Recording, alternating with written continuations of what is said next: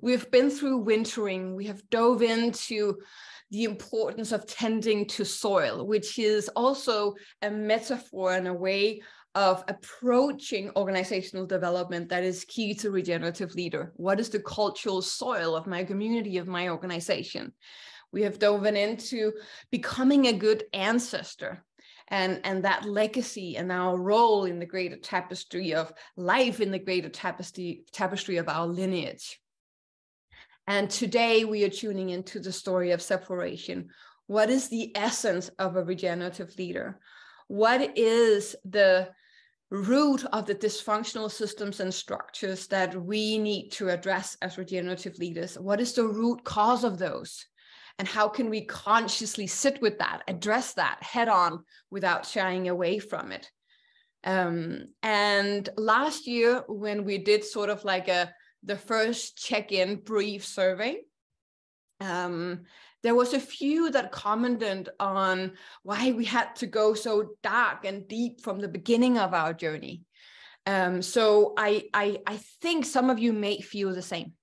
And the reason is that um, I want to make sure that I do my little bit, bit to, to help ensure or at least hold space for the fact that we can't run the risk of regeneration, regenerative leadership, regenerative organizational development, regenerative business becoming just the next kind of superficial fad where, where it's all about tapping into the wisdom of life, learning from nature, biohacking, bio-inspired innovation without us also daring to sit with the root cause of the current dysfunctional systems and structures. We need to dare go there, or else it's just superficial scaffolding on a fragile foundation. We have to go there. It has to be woven into how we redesign systems and structures and how we show up as leaders of from all walks of life.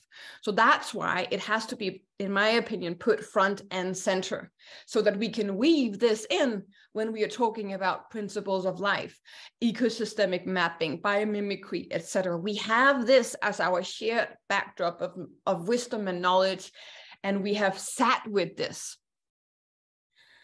Um, because as I said, we can't just bulldoze our way forward. We can't run the risk of of of of of this field being yet another superficial uh, field where a whole world of new fancy consultancy are popping in and and and and and and putting the word regeneration to it without actually having sat with some of the deeper components of this field. We need to move away from superficial solutioneering. I don't know if it's a word, but let's make it one.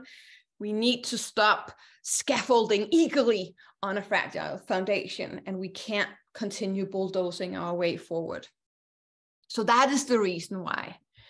And um, and this is not just lear- about learning a new style of leadership. It's a new level of consciousness. It's letting go of what no longer serves. And we are in this community um, fumbling and chaotically and uh, sometimes it feels like this gooey messy phase of metamorphosis. We are we are finding the answers together integrating implementing holding space for what needs attention in our own way. So it's a new level of consciousness in many ways that we are tapping into.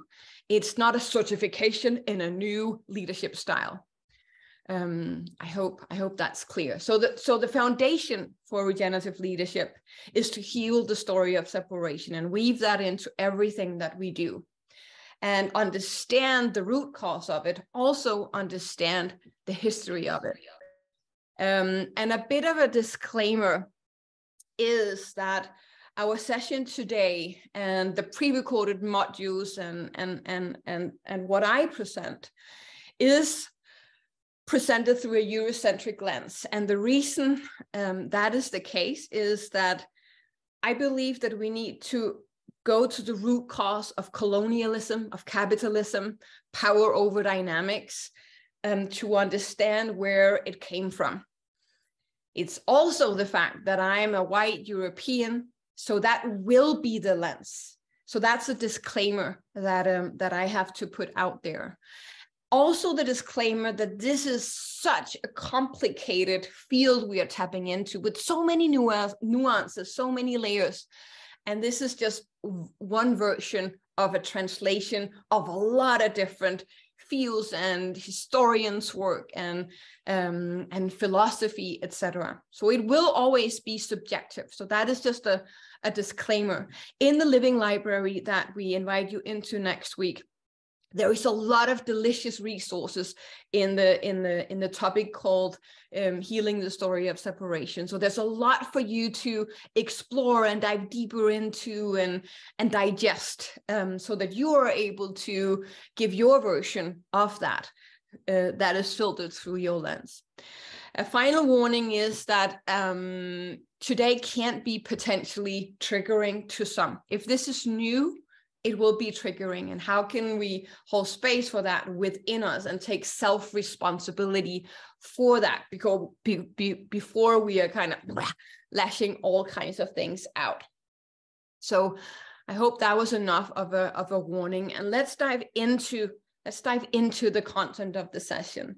You've seen this before, at least a version of it, um, if you've gone through the pre-recorded versions of the of the module. And I also mentioned that briefly in our last session. But for the majority of the time we were here on this planet as a species, we have been through the lunar era, this indigenous worldview, this indigenous worldview of seeing everything as interconnected, seeing your role as being stewards of life, custodians of life, seeing everything alive as your siblings, your brothers and sisters, and you treat it that way. And um, God is everywhere.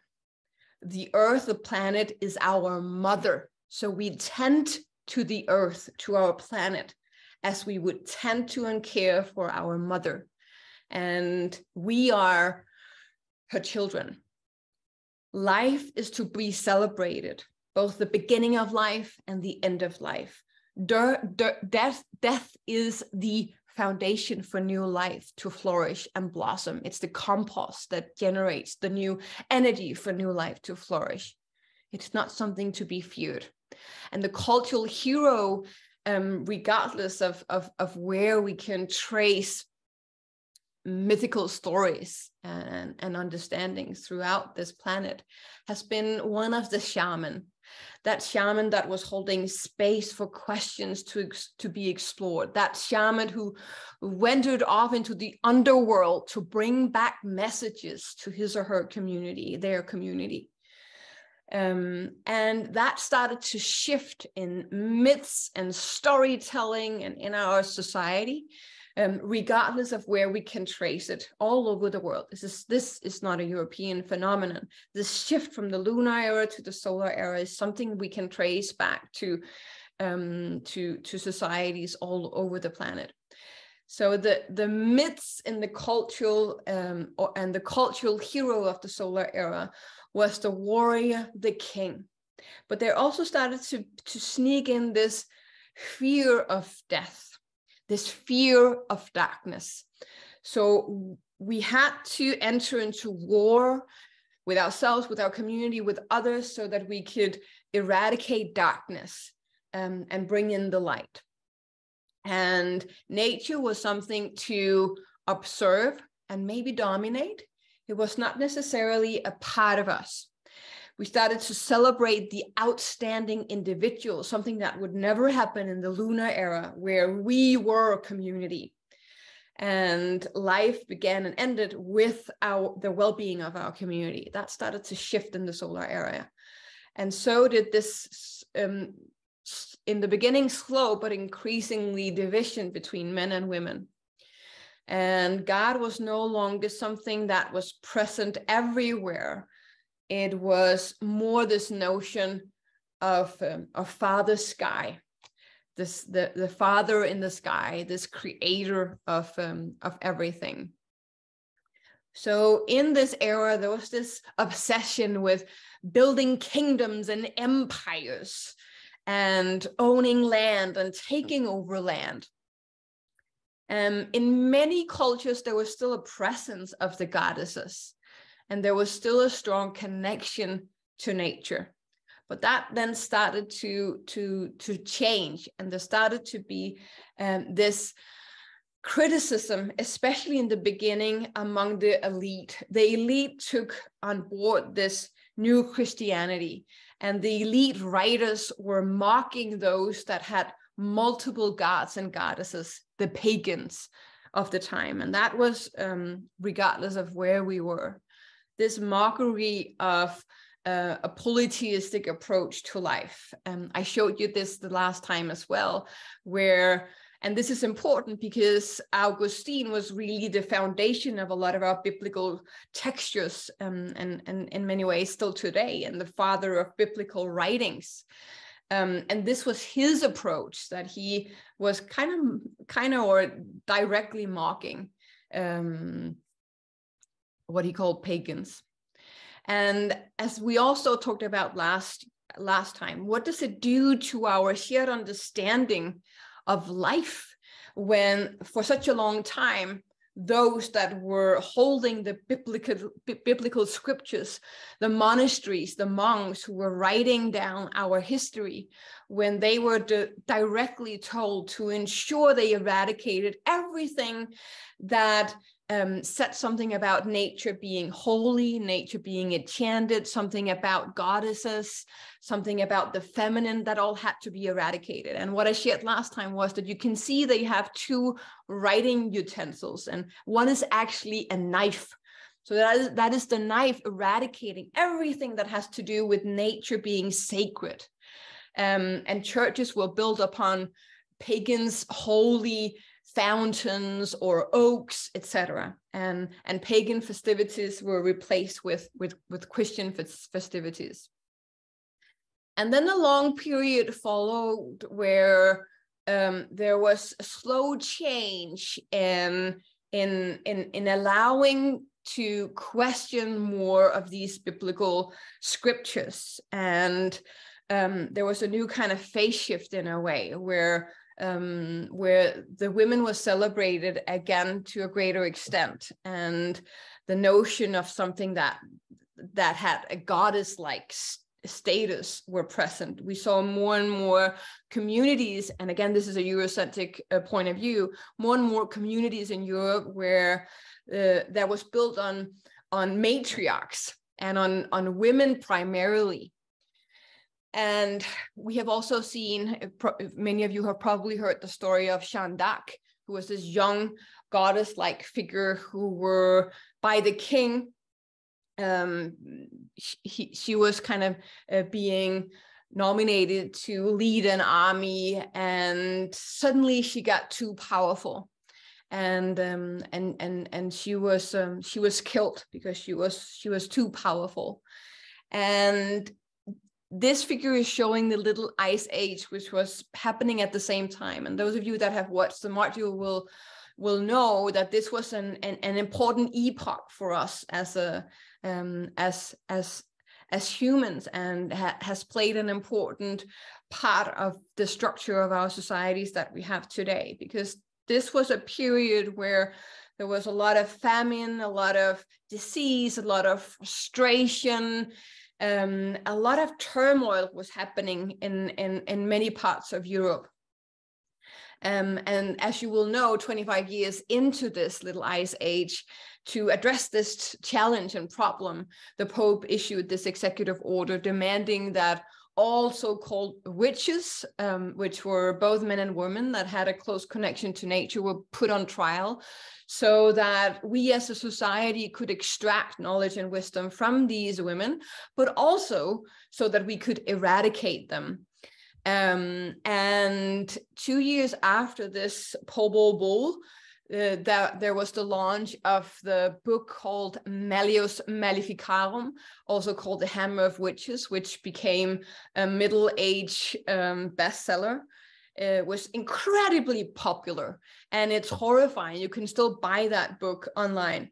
And when you read that, it's utterly horrifying. It's detailed descriptions of how to torture women to get knowledge out of them, how to um, realize that women are here to tempt you, and they are here as an obstacle for men's through true holiness. um, and that women are constantly tempting us in their devilish ways, and therefore they need to be suppressed and dominated. And if they don't know their rightful play place in society, we need to torture them to get to kind of constrain them and and and make sure they know of their rightful place. That is our our job as men to correct this wildness in our society because look where that got us. We are starving. There is a lot of friction in villages and cities. We need to address this. It was also that period that really wove, wove in a lot of fear, a lot of shame and guilt around who you truly wa- who you truly were. Your sexuality your desires your connection to nature was seen as illegal and and really started this um, very long period. It wasn't just a year. It wasn't just a decade it was three centuries of brutal interrogations, torture, and killing of, uh, of both men and women, but primarily women. Um, and the, the thing is that it was even illegal to have a record of how many women had been killed in your village. If it was discovered that you were keeping a record of that, you would be killed as well. So we don't know the exact amount of women and men that got killed during this those three uh, centuries, but it's a lot. Um, in some cases, entire villages got eradicated. And it was justified with this notion that we need to correct and we need to bring ourselves back to center, that we have come astray. And now we are being, um, God is punishing us um, by not delivering um, fertile harvests, etc. So even helping a so-called witch or having a mole, having a birthmark, having a cat, um, brewing chamomile tea if you had a sore throat could mean the end of your life. Um, so, so imagine this, um, this incredible. I, I don't even think we can imagine the amount of fear and stress and utter horror it it, was to live in in this epoch, um, and it was primarily uh, the poorest women and men that uh, that got killed and eradicated and brutally tortured. And you were in your right to torture uh, women and men if you had a suspicion that they knew too much about the cycles of nature about plant medicine midwives got eradicated all over europe as well because they were working with plant medicine and they were working um, they were being too wise.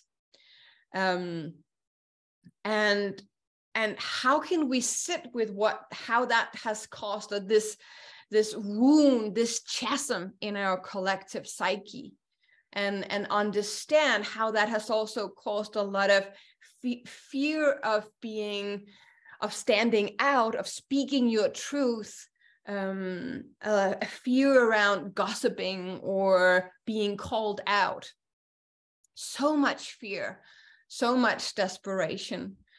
Um, and Gregory Zilboorg has written about this epoch in his great masterpiece, The History of Medical Psychology.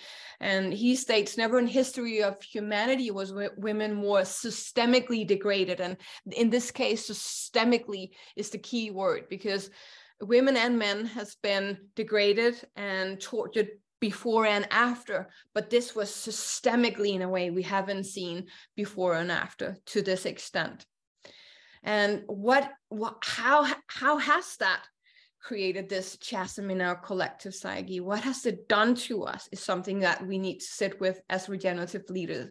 This fear of the feminine, this fear of knowing about nature's ways, this fear of a cyclical approach to life, this fear of nature being more than just matter. So for six or seven generations, children saw their mothers being burned at the stake. How has that been woven into our collective DNA? And this living in constant fear. And this was also present in the scientific community. And Um, and science were were also told to behave in a certain way if if they wanted to be able to express their insights. And quite a few scientists, um, male, were also brutally tortured at the time. Um, Bruno, who, there's a statue still of him in um, in Rome, was questioning the masculinity of the Holy Trinity. Is that really true that that it has that masculine character? He was questioning um, why nature couldn't be a feminine energy. And he was weaving in new ways into his scientific findings. And for that, he was um, he, he was called a blasphemous and he was interrogated for seven years until he was also brutally killed. And at the time, it was seen as as you helping to get rid of evil in your society if you were witnessing the brutal torture. So if you showed up for this brutal torture and killing in villages all over Europe, you were helping to get rid of evil. That was something that was being being praised and set um, set in church. How can we sit with this? How can we sit with the fact that uh, the, the, the so-called father of the scientific method, Francis Bacon, that these are some of the words and his approaches. And he was also a legal prosecutor and he was heading a lot of these witch trials. And he was there for his justification was that I need to be there to ensure I can extract wisdom and knowledge from these women about nature's ways so that man could get his rightful position in the universe. So he saw it as a war of conquest, conquest and domination over power over nature, power over the feminine. And that he was calling to unite the scientific community to unite forces against the nature of things, to storm and occupy her castles and strongholds, and extend the bounds of human empire. That's his words. And to continue in with his words, nature being known, it may be mastered, managed, and used in the services of human life. I am come in very truth, leading you to nature with all her children to bind her to your service and make her your slave. The object of knowledge is the control of nature. Nature in itself has no purpose. So, how can we again sit with that? This was not being questioned. This was the truth. And that has been part of the foundation for the scientific revolution. And Descartes, Newton, and many others build on that and build on this understanding that for us to do scientific work, we need to extract wisdom from the feminine about nature's ways to ensure domination. Descartes said, through science, we can render ourselves the masters and possessors, possessors of nature. And he's also famous for the cogito ergo sum that have caused this destruction of, uh, of, of mind and matter. And this separation between humans and the, the living world that we are superior. We have this power over the rest of the living world. So words and concepts that became forbidden and not just kind of it's not it's not good to use these kind of words it's not really accepted no it became forbidden in the way that it would mean the end of your life if you were approaching science approaching life in a way where you would use words like spirit, soul, enchanted nature, the feminine, the goddesses, the unconscious, the interconnectedness of life, um, nature being something that is sacred. So, with this mindset, we bulldoze our way as Europeans out into the world, and we're taking possession over uh, humans and land. And we spread our capitalistic ways, we spread to the rest of the world this worldview of power over of um, of nature being something that is at our disposal, something we should dominate, conquer, extract. The feminine being something to dominate, control, or else society will become too wild and will be tempted by devils by the devil's ways.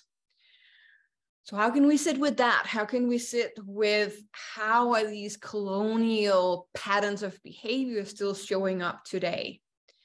When we went out into the world, we were justifying our behavior by in many different ways. One was the concept of vacuum domicilium, this empty space, and that we were in our right to put this wilderness to good and profitable use.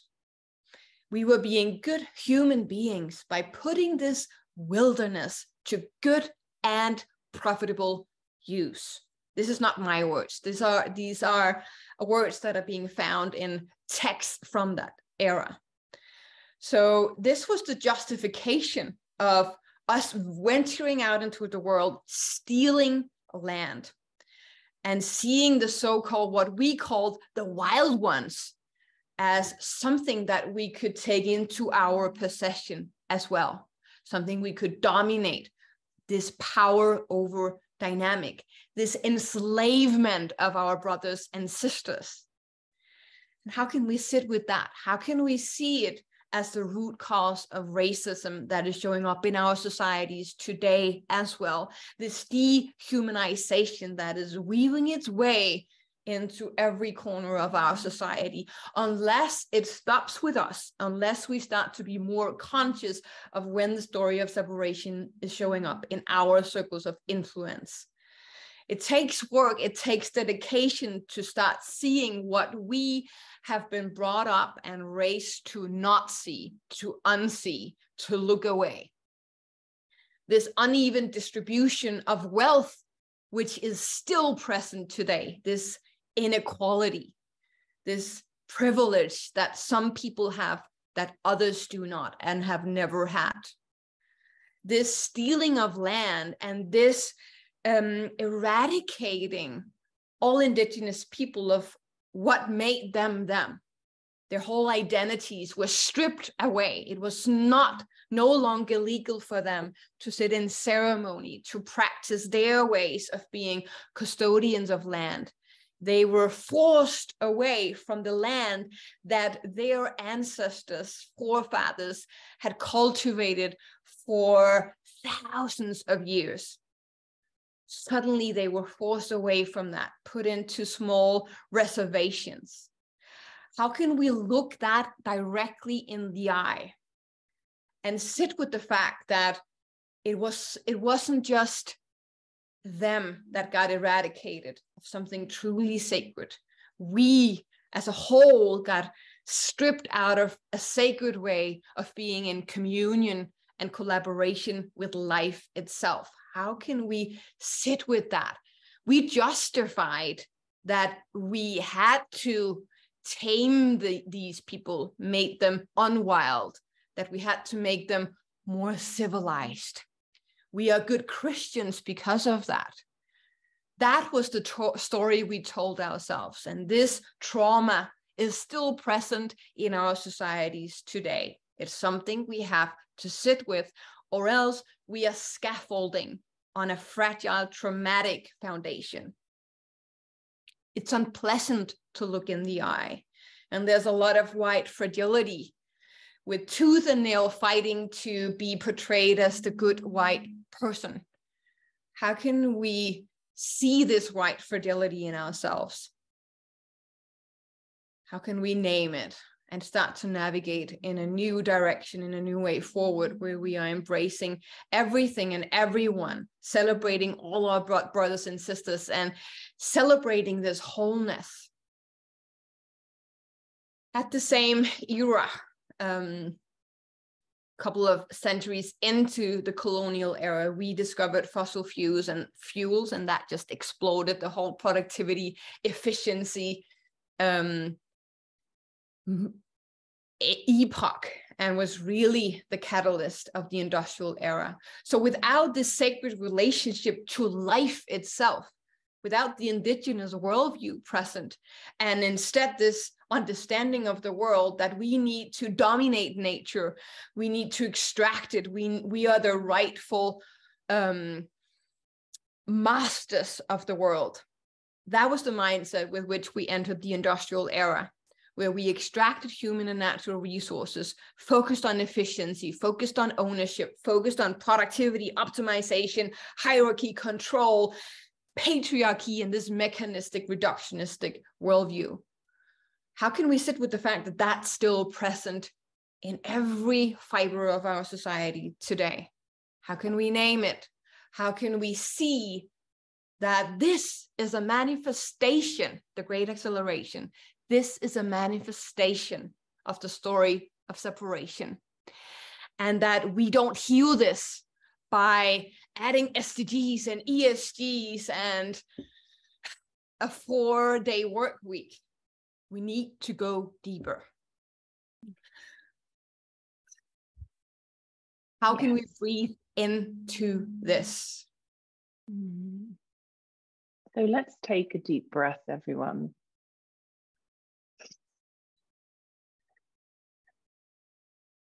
and just allow what Laura shared to, to just land into our space and acknowledge that there may be a lot of different emotions present here. I invite you to take that deep breath. Observing your emotions. There may be triggering, there may be fragility, there may be grief, there may be anger, just allowing yourself to, to be present with what is here.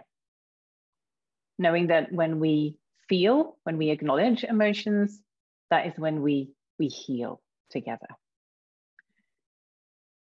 And also acknowledging this particular slide that Laura is showing us right now the great acceleration. The great acceleration. Just take a moment and perhaps notice where this word acceleration, acceleration, what that word does to us.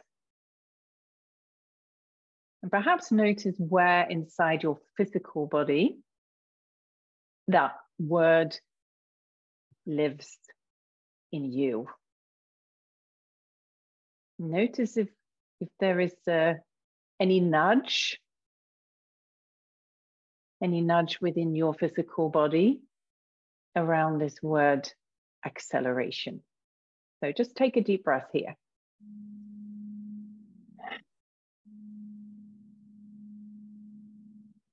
So I'm going to take a moment now to, to read some words by the author Tricia Hersey.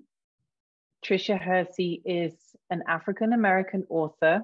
She's an artist. She's a dreamer. She's a visionary.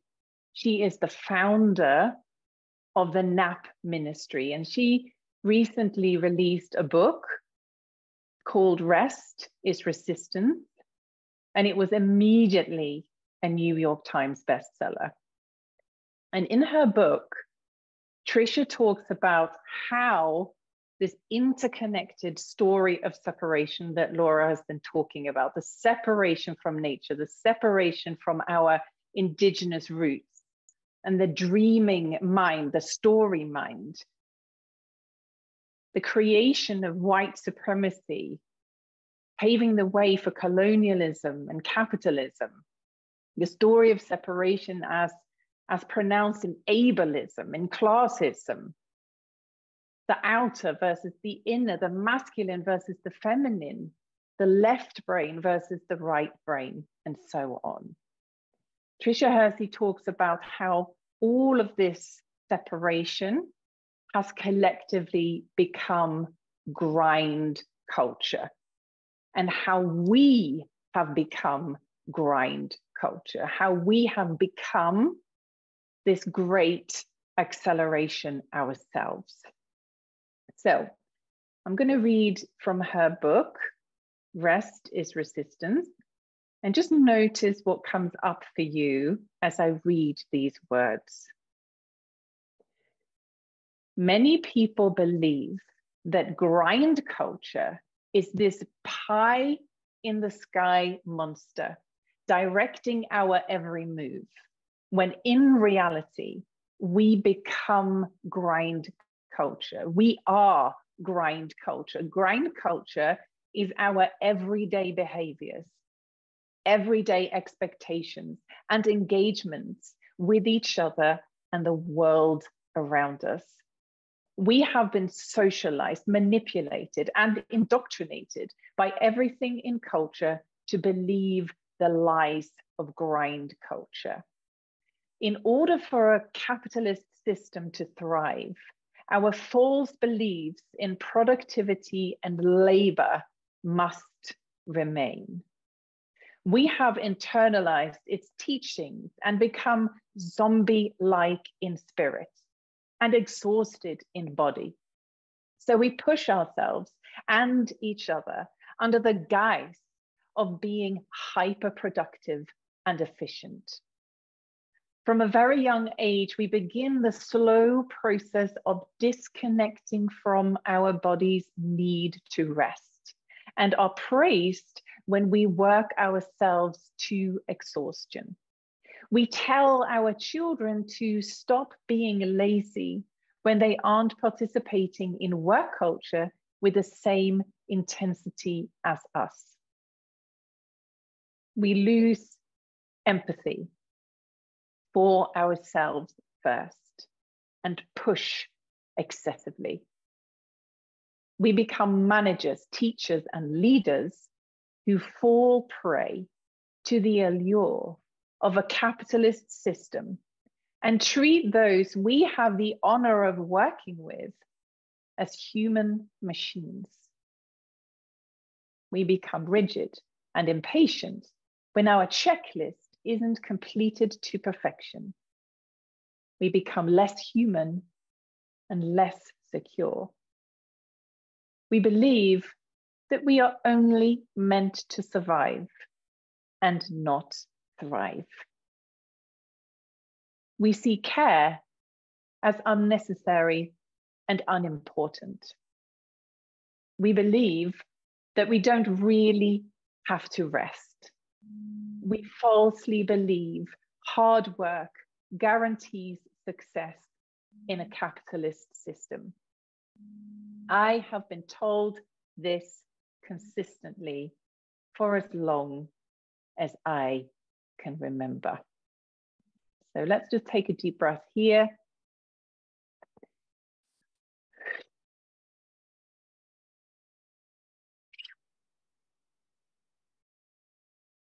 Mm. Just allowing those words to land.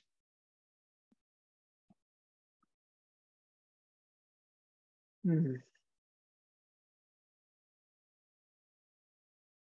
Thank you, Emily. And what the great acceleration does not include is the fact that stress and burnout, depression levels has been through the same steep increase since the 1950s every year that Gallup announces their global emotions report, the levels have increased from previous years.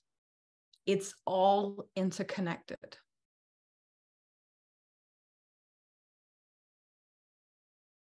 And what happens when we, as a whole, use our connection to the greater tapestry of life, when we lo lose this sacred approach to our role being stewards and custodians of life itself. When we become so disconnected from our natural habitat, from our own individual wholeness, what happens then to us as a society? And how can we start to train our ways of viewing the world, viewing the challenges that we are facing in this VUCA world with the lens that I can become a healer of this if I heal the story of separation within me and start to see what I have been trained to unsee and not see. Because what happens when we lose our connection to life and lose our connection to our indigenous worldview? We become out of balance, out of kilter. So, how can we all go through a process of re indigenization, reclaiming our own indigenous roots, and starting to see this friction that we're navigating as a society as interconnected? And how can we start to see that it's showing up everywhere and it has many different faces, but the roots are the same? showing up in some of the images you see here. It's showing up in how we have decided to design organizations like efficient machines, how we grow our food in this monocultural extractive process that is incredibly depleting for the soil, for the skin of our earth. How we put humans into organizations under artificial daylight, into cubicles, and like robots, ask them to tab away all day. It shows up in how we address climate change and try to solve this by a very, very one dimensional approach. This carbon tunnel vision that you've some of you may have seen before. It's rearing its head everywhere we look. It's showing up in how we still today call colonized nations developing and those who colonized the developed nations. It's showing up in how we celebrate different qualities in our children, in ourselves. That it's the left brain hemisphere, the rational analytical brain that is the superior brain. And that has dominated how we have designed our educational systems and how we are forcing our children into these machines to come out the other end as efficient little contributors to the machine. It's showing up everywhere. And it can be a fascinating and and and and a journey full of grief when we start to, un, to, to see where it's showing up. It's showing up in Disney stories. These are the Disney stories that many of us were grew up with. These white, beautiful women who were stripping themselves of their own identity to please a man. It was all about their beauty. It was all about letting go of their identity to please a man. This, these are the role models that we were growing up with. Thankfully, it's starting to change. And the kind of Disney role models that you see in many of the films now have changed character, thankfully. But still, these are present today. It's showing up in how we treat little boys in a way where we tell them that boys don't cry or boys will be boys. And it's showing up in in how we have designed organizational culture to completely be stripped of a cyclical approach to life, something we will talk a lot more about. How can we weave that back in? How can we honor that we are a cyclical being on a cyclical planet? We could go on and on with examples. And that is an important process for us when we want to unlearn, which we have to.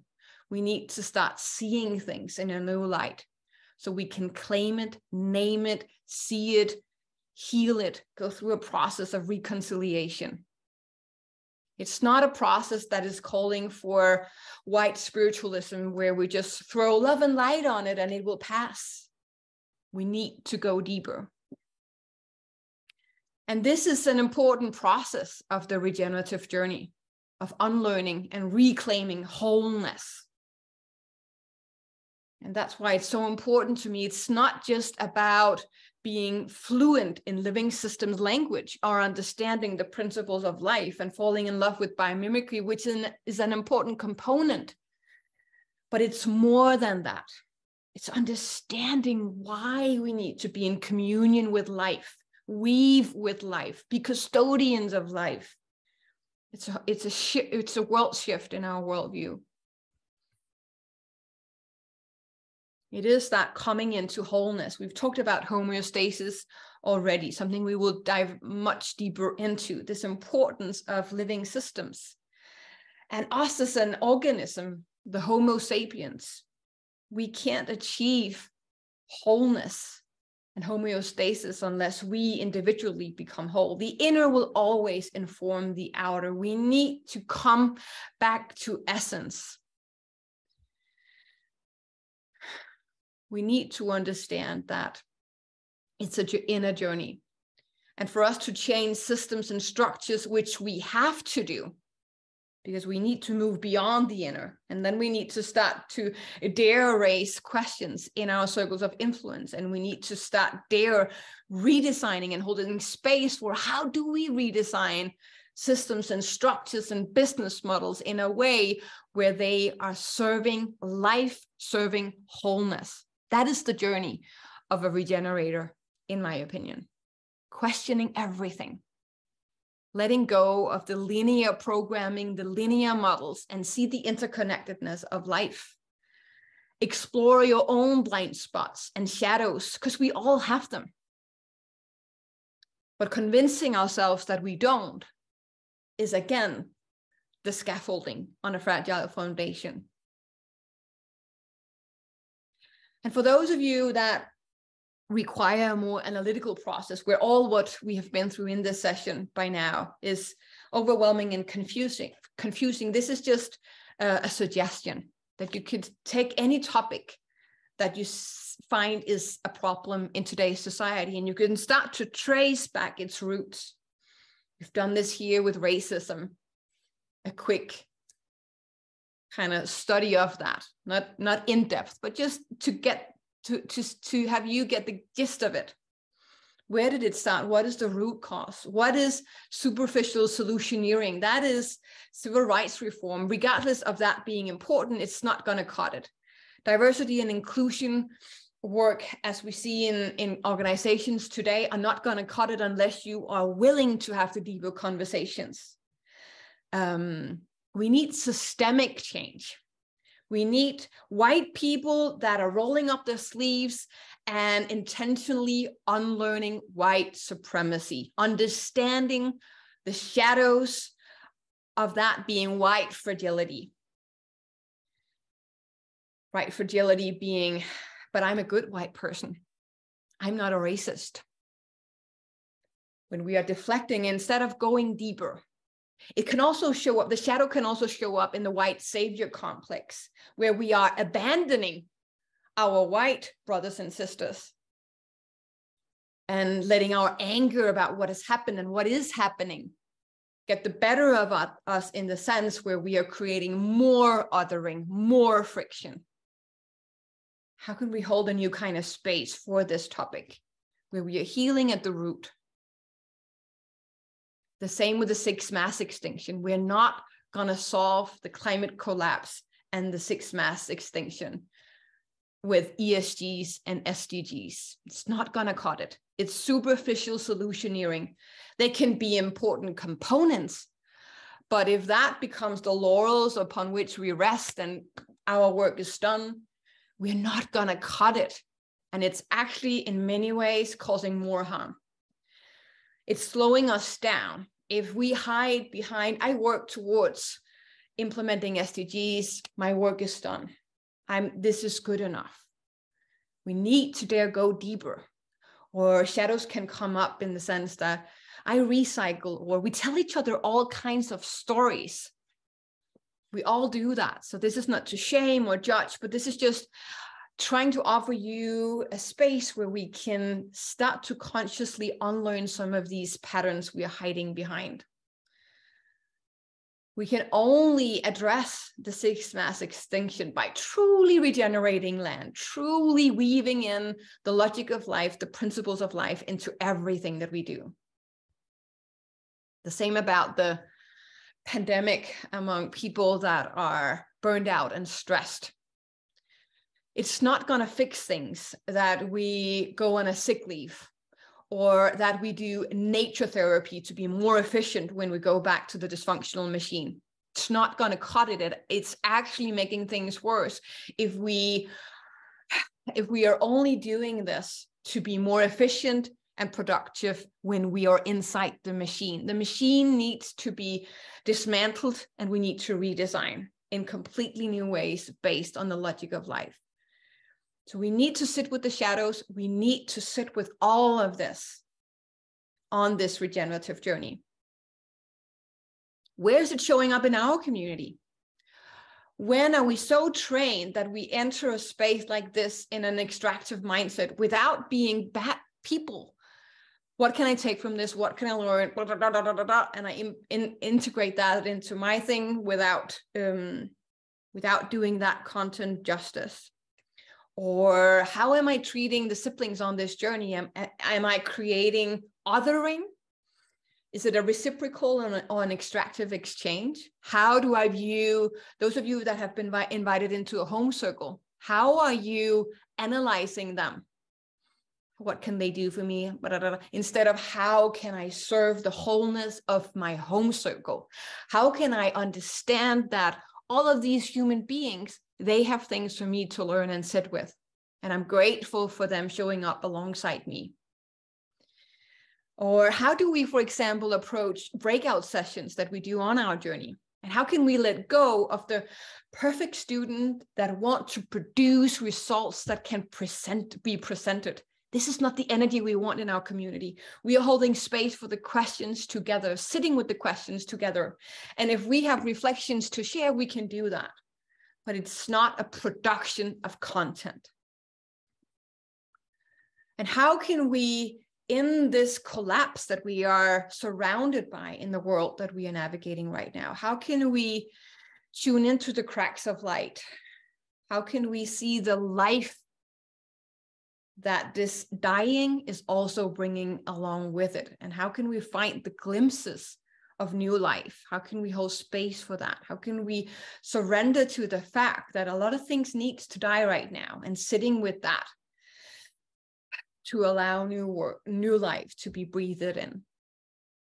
So what we will do now is that we will sit in our own space and we will sit in our own space for um, around eight ten minutes with these reflective questions before we go out into breakouts to discuss some of these questions.